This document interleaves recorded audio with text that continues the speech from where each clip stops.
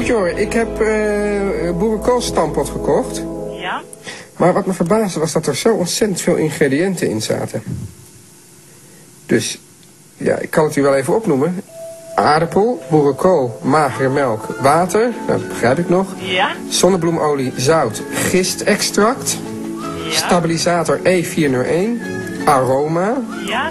Varkensvlees. Ja? Varkensspek, rundvlees. E325 natriumlactaat. Ja? E326 kaliumlactaat. Ja? Citroenzuur. Zout tarwevezel. Ja? Rundercollageen. Ja? Stabilisator E450. Ja? E621. Ja? Dextrose. Ja? Rookaroma. Palmolie. Heel veel, hè? Ja, nou, en ik ben nog, nog niet eens op de helft, denk ik. Voor een stampot boerenkool heb je nodig. Een boer, een stamper en een rookworst. Iedereen kan stampot maken met boerenkool. Maar er is iets merkwaardigs mee. In het groot gaat het niet zoals het in het kleine moet. Een stampotje boerenkool dat we kant en klaar in de supermarkt kunnen kopen... is gemaakt van duizend dingen die in geen enkel keukenkastje te vinden zijn. De Keuringsdienst van Waarde onderzoekt in drie uitzendingen het vreemde van het grote koken. Vandaag de stampot.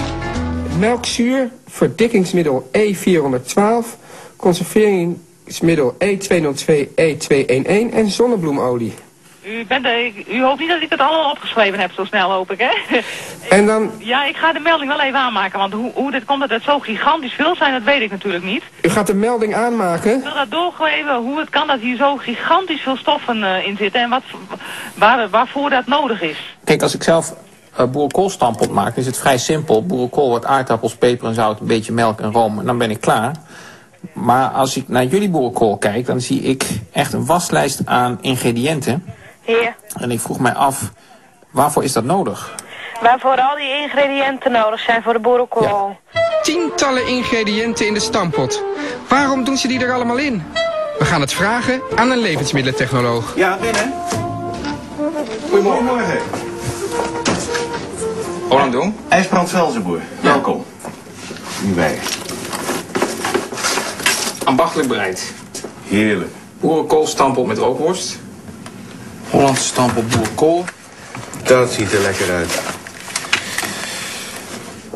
Je, je kijkt zeg maar op die ingrediëntendeclaratie. Dan zie je ongeveer 50 ingrediënten. Terwijl je denkt, het is toch maar boerenkool met, eh, met worst. Is het nou nodig om dat allemaal eh, erin te stoppen? Uitgangspunt bij de fabricage van boerenkool is natuurlijk... het moet lekker zijn. Het moet betaalbaar zijn. En daar zijn wij als consument eigenlijk mede schuldig aan. Want wij gaan voor de goedkope aanbiedingen ook. En het moet ook nog lang houdbaar zijn. Dus dat zijn toch wel drie spanningsvelden die ervoor zorgen dat je toch heel veel ingrediënten nodig hebt. Veel technologische kennis ook om dit in elkaar te sleutelen. Dus het moet lekker zijn, het moet goedkoop zijn en lang houdbaar. Ja, Maar wat de fabriek kan, kan de keuringsdienst van waarde ook. Boerenkoolstampot gaan we maken. Precies zoals de fabriek dat doet. Gewoon heel veel ingrediënten. We gaan alles bij elkaar sprokkelen. Ik had een vraag. Ja. Leveren jullie ook eh, boerenkool? Nu? Mm, Nu? Nu? Nu? Op, op, op dit moment, laat maar zeggen? Ja. Nee. Nee. En meteen al doen we een ontdekking. Boerenkool terwijl het hoogzomer is. Waar is de vorst dan die er overheen moet? Ah, Teun van de Keuken, keuringsdienst van waarde. Perry Leemans, Ardo Zundert. Goeiedag. U, u kweekt hier de boerenkool? Ja.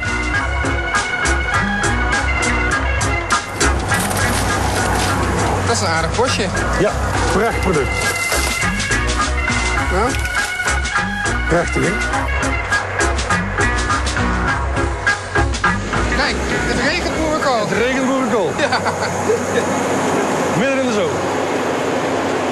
Maar ik denk toch dat veel mensen niet weten dat eh, boerenkool in hartje zomer wordt geoogst. Dat kan kloppen, dat kan kloppen.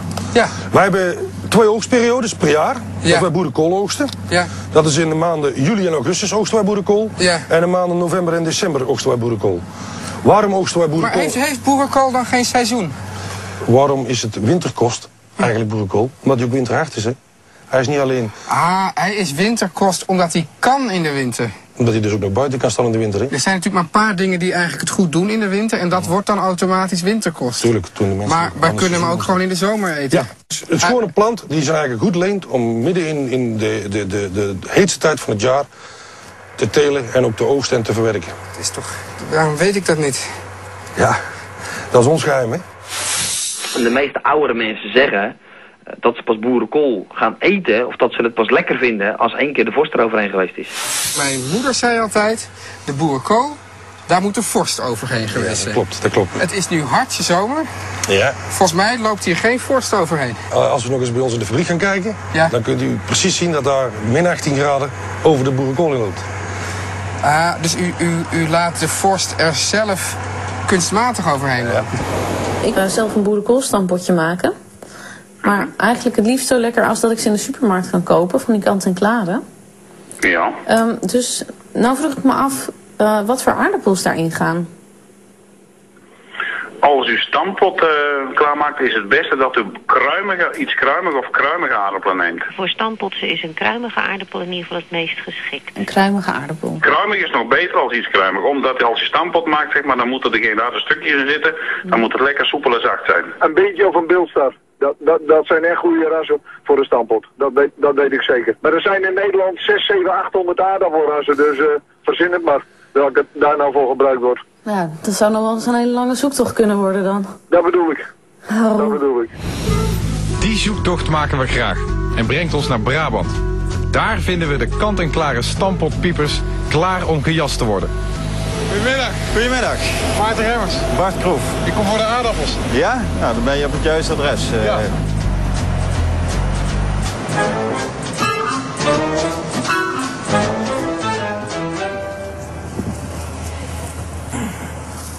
Dit zijn ze. Dit zijn ze, ja. Hoe heette deze? Dit zijn de Hanzes. De Hanzes. Maar jullie verkopen aardappels niet zo, zoals je ze eventueel bij de groenteboer kan vinden? Nee, nee, wij verwerken ze tot allerlei aardappelproducten. Schijfjes, blokjes, eh, partjes. En je kunt er eh, ja, blokken van maken die je koken en die kun je tot stampot, eh, kun je er stampot van maken.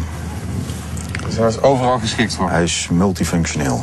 Dus in veel supermarktproducten, verwerkte producten zit deze aardappel? Ja, dat zijn veelal eh, vastkokende eh, aardappelen die daarin verwerkt zijn. eh. Ja, ja, dus deze is vastkokend? Ja, die is eh, vastkokend. Maar in de boerenkool moet ik juist kruimig hebben? Ehm, dat zeggen ze, maar kook je de Hanza verder door, dan wordt hij uiteindelijk ook eh, eh, losser van structuur. En is hij ook geschikt eh, om te pureren, om stampotten ervan te maken. Ja, dus als je aardappels gewoon langer kookt, dan worden ze vanzelf een beetje kruimig? Eh, ja. Zullen we dan naar de fabriek gaan om te kijken wat we allemaal met de Hanza's doen? Op jullie verpakking staat ook dat er plantaardige olie in zit. En nou vroeg ik me af of ik dan het beste olijfolie kan gebruiken of zonnebloemolie of... Plantaardige olie is het in de meeste gevallen ehm, palmolie op het moment. Omdat het gewoon het goedkoopste op de markt is. Verkopen jullie toevallig palmolie? Nee, helaas niet. Geen palmolie. Geen palmolie. Dat is jammer. Ja, Ik wilde namelijk boerenkool gaan maken. boerenkool. Ja. En, en, oh, de- en, en daar gaat palmolie weer in. Ja, het schijnt. Oh, Dat is eigenlijk wel raar, omdat ja, ik, ik gebruik geen palmolie in mijn, eh, in mijn stampot thuis. Nee, het is ook niet te krijgen in de winkel, palmolie. Het is gewoon niet bekend in de Hollandse keuken. Palmolie niet? Palmolie, nee. Maar het is gewoon goedkoop vet. Het is een goedkope grondstof voor de voedingsmiddelenindustrie. Ja, en waar komt die, waar komt die palmolie vandaan? Palmolie, eh, Indonesië en Maleisië, dat zijn echt eh, de, de, de palmolieleveranciers bij uitstek. Alle kookfabrieken zijn aan palmolie verslaafd en hebben er telkens meer van nodig. Maar in de Nederlandse supermarkten kan ik het nergens vinden. Dan gaan we het zelf wel halen. Daar waar het vandaan komt. We gaan industriestampot maken en willen het niet met minder doen dan met authentieke palmolie.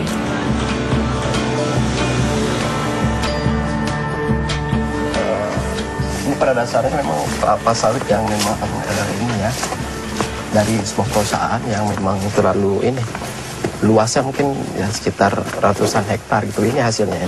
Ini umurnya sekitar 15 tahun. Bibit yang memang eh, unggulan. Ini hasil unggulan. Pada, pada dasarnya ini hasil unggulan. Kita lihat dari bijinya yang memang lumayan besar. Terus tandanya pun masih bagus-bagus. Jadi nah ini ada contoh yang mungkin bisa kita lihat seperti ini. Ini masih belum bisa langsung di ini dimasak gitu. Jadi harus ada proses lagi. Agak agak payah memang. So from the middle of this little fruit, Ah. all these little fruits, Iya. that's what they make the oil from. Yes.